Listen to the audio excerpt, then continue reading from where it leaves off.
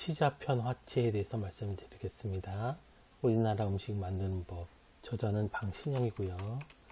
1954년 269페이지 책면 여름철 되어 있고요.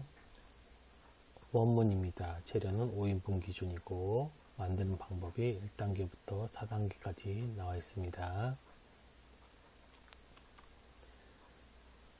번역문입니다. 재료 5인분, 녹말 한홉, 오미자 2분의 1홉, 치자 2분의 1개, 꿀 2큰술, 설탕 2분의 1홉, 잣 2큰술, 물 4홉. 그래서 1단계부터 4단계까지 되어 있고요. 조리법입니다. 여기서는 1.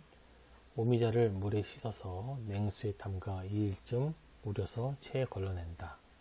2. 설탕을 타서 끓인 후 다시 차게 식혀서 맛을 보아 너무 시지 않도록 물을 타고 꿀을 조금 쳐서 단맛을 알맞게 해 차게 둔다. 3. 치자를 잘게 깨트려서 물에 담가 우려놓는다. 4. 녹말을 물 4홉에 개어 체에 걸러내고 치자물을 조금 쳐서 빛을 곱게 해서 풀 쑤듯 한참 주걱으로 저으면서 끓여 반듯한 그릇에 담아 차게 두어 굳혀 놓는다. 5. 단단히 굳은 후에 가늘게 얌전히 채를 쳐서 화채 그릇에 담고 오미자물을 치고 잣을 띄워서 놓는다. 이렇게 되어 있습니다.